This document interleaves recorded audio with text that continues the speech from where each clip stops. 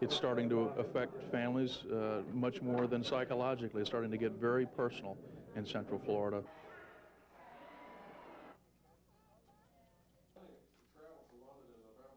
We are very concerned with everything that's affecting the tourist industry. That's why we're here supporting this Visit FLORIDA initiative. government can do in terms of providing for the most needy in our society and providing for a healthy education system is to rely on our business. Um, If you are advertising to a public that is unwilling to move at this point, then you're wasting money, at least in the short run.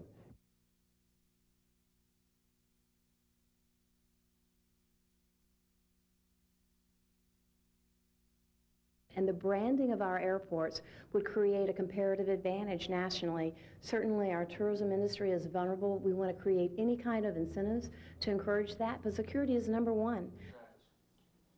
Thank you, Mr. Chairman. Rich, thank you so much. Uh,